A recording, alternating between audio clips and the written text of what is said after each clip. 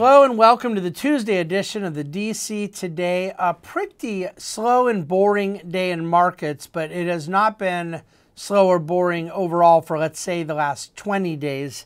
In the last 20 trading days, the market is up over 10%. That rate's above in the 99th percentile um, of, of all time. It just simply, that kind of movement in that period of time simply does not happen very often.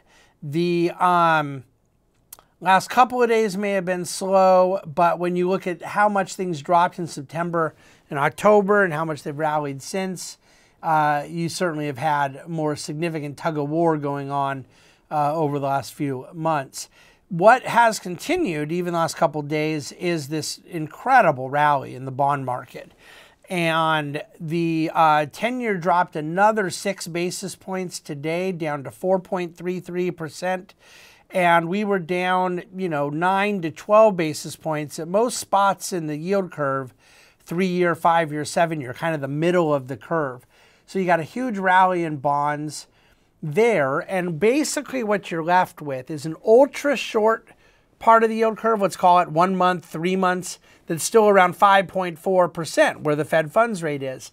But then when you go from two or three months to two or three years, it drops a full percentage point from 100 basis points from well, roughly 5.4 to 4.4.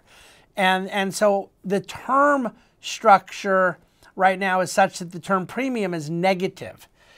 And all that means is that and I talked about this at Dividend Cafe a month or so ago, that growth expectations and inflation expectations are very low, and you're basically getting the short end of the curve plus a negative term premium in the bond yield curve. Um, and I believe that speaks to growth and inflation expectations. And yet, hopefully, at the point at which the Fed does begin cutting the short end, the term premium will hold, excuse me, the term structure will be such that longer dated uh, maturities will hold and you'll get a normalizing of that yield curve, uh, an uninverting, and there will be some degree of growth priced into the bond market. Um, but we can't really get optics on that till the Fed does indeed cut the, the Fed funds rate. So that's where things stand now. And the bond market has driven a significant rally in the stock market. And uh, even a day like today, the Dow was up 84 points, 24 basis points. The S&P was up just 10 basis points, pretty flat. Nasdaq was up a little over a quarter a point. Real estate was the top performing sector, up half a percent. Uh, consumer discretionary was right there as well. Healthcare was down half a percent. So very um, muted, you know, in terms of the worst case and the best case, the delta not too far apart. I know within our own dividend portfolio today, no uh, stock was uh, a worse contributor than negative four basis points, and no stock was a better contributor than po positive four basis points. And so, being a money manager who's looking at that every single day, it's really rare to see that little dispersion um, oil was up 2% today. It's back above $76.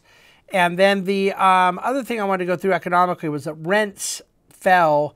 The, the uh, Apartment List National rent report for the month of November showed rents down 0.9% on the month, uh, a decline in rents in 89 out of 100 cities that uh, they monitor. So, um, ongoing disinflation there. Uh, somebody did ask me, by the way, in the Ask David section, if I thought it was a bad idea for the Fed to raise rates as a way of constraining demand, um, which is in their mind intended to bring demand in line with supply and therefore mute some inflationary pressures.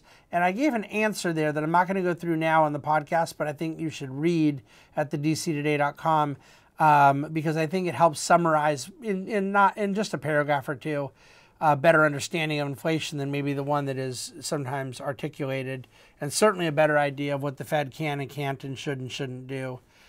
Um, so I'll leave it there. There's a few different links you'll you'll want to check out the DC today. Uh, clients will receive their weekly portfolio holdings report bright and early tomorrow morning. And then um, I'm jumping on a plane tonight for a meeting on the East Coast tomorrow. So Brian Szytel will bring you DC today uh, on Wednesday, and then I'll be back in California Thursday. and uh, we'll go from there. That's about all I have. Reach out with any questions. Thanks for listening. Thanks for watching.